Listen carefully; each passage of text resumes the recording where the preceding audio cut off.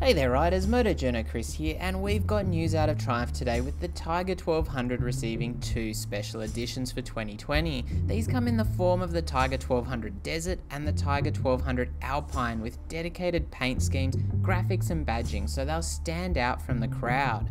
Now, the Tiger 1200 XC and XR models received a host of updates in 2018, including up to a 10 kilogram weight saving, new LED and cornering lighting, an adjustable full color TFT display, Triumph Shift Assist, keyless ignition, updated cruise control, new cast or spoked wheels, and engine updates. The 1215cc triple cylinder offered a claimed 141 horsepower at 9,350 rpm and 122 newton meters of torque at 7,600 rpm, with longer service intervals and a higher overall level of specification.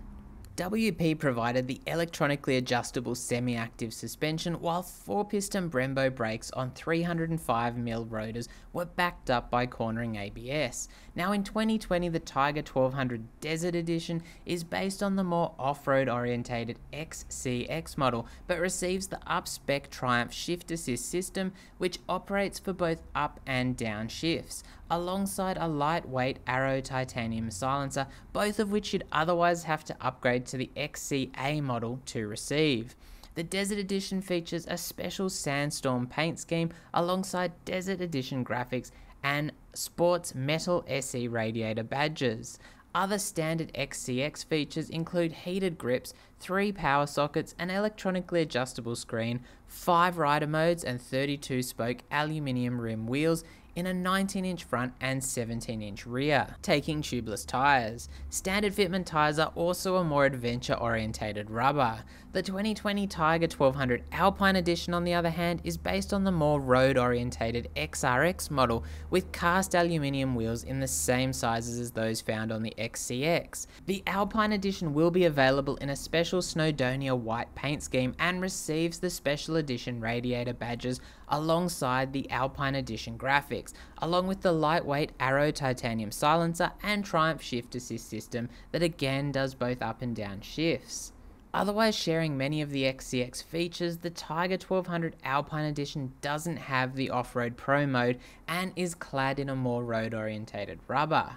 The updated Tiger 900 models will no doubt be at the top of riders' minds for 2020, so these special editions may be an attempt to get people looking back at the larger 1200cc Triumph Adventure options, somewhat bridging the gap between the XCX and XRX models to the higher spec XCA and XRT models.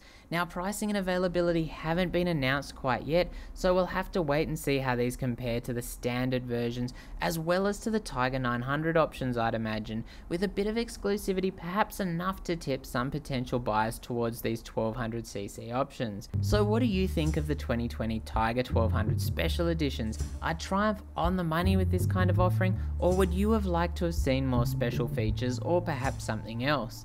let me know in the comments and don't forget to like and hit the sub button and of course that notification bell if you'd like to see future videos. As always, stay safe out there and thanks for watching.